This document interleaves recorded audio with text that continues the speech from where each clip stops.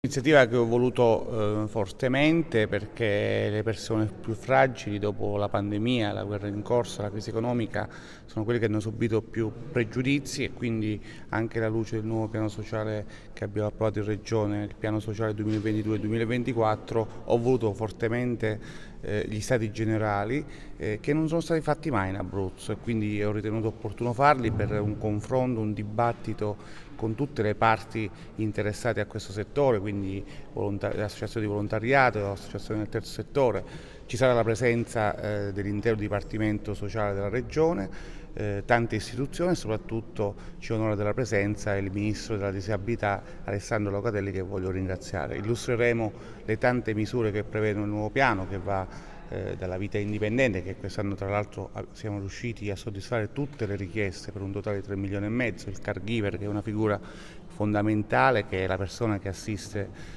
la persona fragile a casa, eh, lì bisogna fare un ulteriore passo, ovvero formarli perché anche in quel caso ci vuole la competenza, ma soprattutto il dopo di noi, perché tanta gente, tanti genitori, tante persone care sono preoccupate per la situazione eh, di adesso, ma soprattutto si preoccupano per il dopo e quindi noi dobbiamo cercare di trovare delle soluzioni. Quindi è una giornata importante per l'Abruzzo, per queste persone che spesso vengono dimenticate, invece io voglio che queste persone vengano considerate perché in Abruzzo nessuno deve rimanere indietro. Quindi,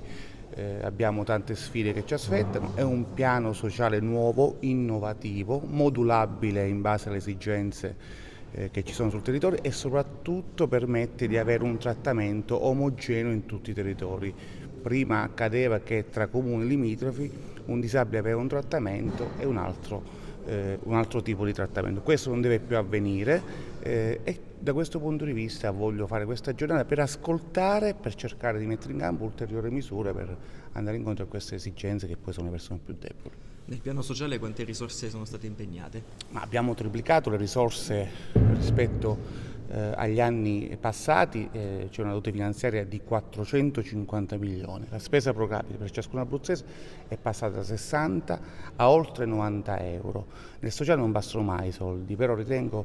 eh, che eh, questa giunta, questo assessorato abbia fatto uno sforzo enorme, ringrazio l'intero Consiglio regionale e anche la Giunta che ha supportato questa mia iniziativa, tant'è vero che il piano sociale è stato approvato all'unanimità, quindi spero che questi fondi possano dare una certa eh, soddisfazione e anche un'allegria, perché vedere il sorriso di una persona in difficoltà per me è una grande gioia.